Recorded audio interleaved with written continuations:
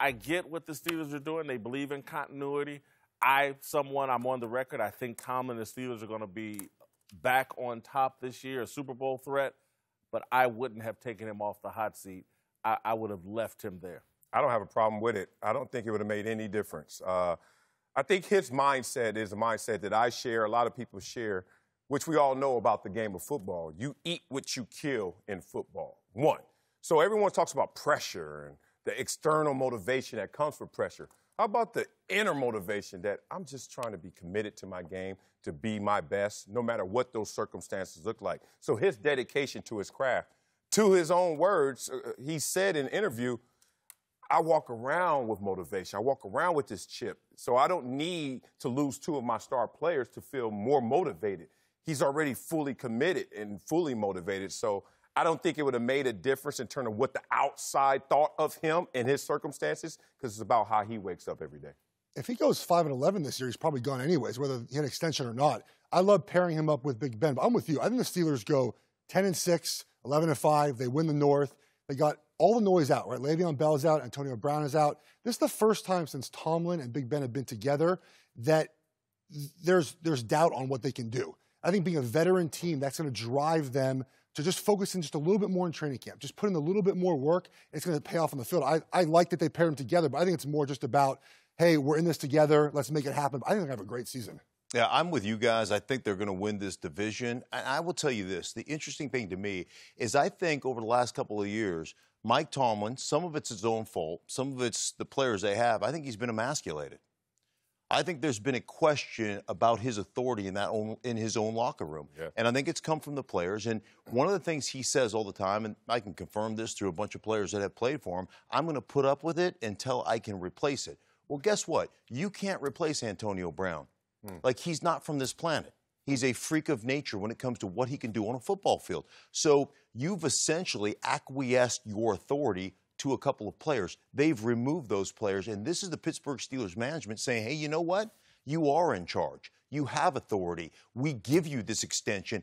Go exercise that authority. That's what they're doing here for, for Mike Tomlin. And I think it's a great power play for him. In my lifetime, there's been Chuck Noll, there's been Bill Cowher, and there's been Mike Tomlin. Mm-hmm. That's it right? And so I think they've they, I think they've reestablished there's the the new sheriff in town is the same one that you've had for a while, and we've empowered him. We've given him a vote of confidence. I, I and it may be necessary for them to do that, and that may be the final piece of the puzzle for them coming into this year.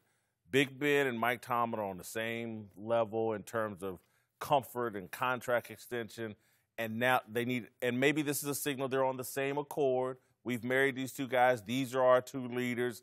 And, and so, again, I don't know if I would have done it, but I get the thinking, and, and it may very well work in terms of, because if he is on a shorter contract, if they don't give him the extension, there might be a handful of guys in that locker room that's like, hey, man, he's kind of lamed up. And, you know, he may not be here next year.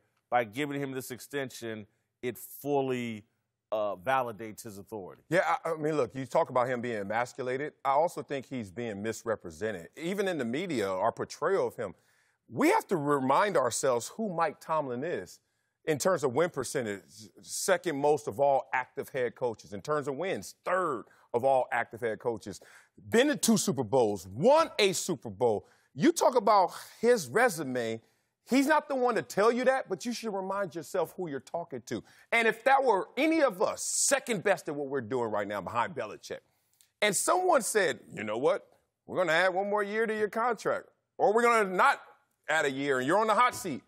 If you're that good, if you climb that pyramid of success to that level, you think that matters? Mm. I know that I will always get the fruit of my labor based on my greatness, and it's going to be consistent. Here, here's where I would push back, though, Marcellus because the Steelers are such a unique organization, three head coaches in 60 some odd years, all of them have success. The, the Steelers' reputation is that it's the Steelers organization, that that front office down is leading that. The Patriots are, Belichick runs that. And so I, I think among NFL players and I think among NFL media people, it's, it's awesome what Mike Tomlin has done but now I think he has a real chance to prove himself of being more than just the Pittsburgh Steelers organization and system.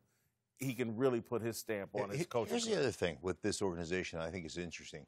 You talked about how now they're tied together, he and Roethlisberger, mm. until both their contracts end. Both of these guys are coming under scrutiny or have come under scrutiny. So it's one of those situations where you're looking at each other going, we're in this thing together. You realize we're married. We're tied at the hip. and arranged like, marriage, if, too. Right. And if we don't have success. So, I mean, I, I think there's a, a bit of where this bonds these two together mm. because they both have some reputation that needs to be healed, if you will, from the from the media standpoint. Mm-hmm. Yeah, exactly. And it will happen, in my opinion, because those voices are out of law. I think we underestimated how much of a cancer AB had been at times because we like what he does on social media and he's such a great player. But I think having that noise out, how, how many times have we ever had a team like lose a wide receiver and it's really mattered so much to their win loss record when they have still have a Hall of Fame quarterback and possibly a Hall of Fame coach? Mm-hmm. It doesn't matter as much as people think. And I think they're tying them together, saying, look, you guys are in this now together, make this happen. They added the, you know, their, their middle linebacker, their defense will be good, their offense still going to be good. I love the move all in together, and make it happen. But have you changed the common denominator from a lot of the Steelers' issues and woes? Ben Roethlisberger and his leadership, hey, you can remove an AB and you say, okay, now this is my locker room. Uh, respect that. But when adversity hits, your true colors show. Has he changed his, his colors? Has he changed his ma- mental makeup? We'll find this year, but he's listening, right? He had the the little outing with his right. with his guys. That he, was back. He, he, canceled his radio appearances for the season. He's been nothing but respectful in public. But remember this too. Big Ben has never really had to be the leader on the Steelers. They've been led by their defense forever. They've been led by their veteran offensive lineman, by Hines Ward, by all these other guys. He is now learning how to be the leader of that team. It's now upon him, and maybe this was a growing experience the last couple of years and how to do that. I think as it relates to Big Ben, I'll make a relationship analogy in terms of because I've never understood why Big Ben and Tomlin haven't been lockstep because I think their personalities match. Both of them are gamblers. Both of them are hyper aggressive in the style of play they want to do. And, and, and, again, if you remember anything about Big Ben, his reputation, particularly early on before he was married, is like the brothers love Big Ben. right, so right. it's never made sense. But, but it does make sense in this respect. A lot of times, I feel like because there were too many voices, it's like it's like when you're dating more than one person, mm. and it's not until you like really zero in on a single person that you discover, like, oh, damn, this is what I should have been doing all along. Mm. I thought it was better when I was, you know, right. juggling this and that and mm. juggling AB's feelings and juggling Le'Veon Bell, blah, blah, blah. Now it's just going to be Big Ben and Mike Tomlin, and I think it's a marriage that's going to work. Thanks for watching. Subscribe here to get the latest from the show. And be sure to check out more of the best clips from Speak for Yourself or go watch a few segments from our other shows on FS1.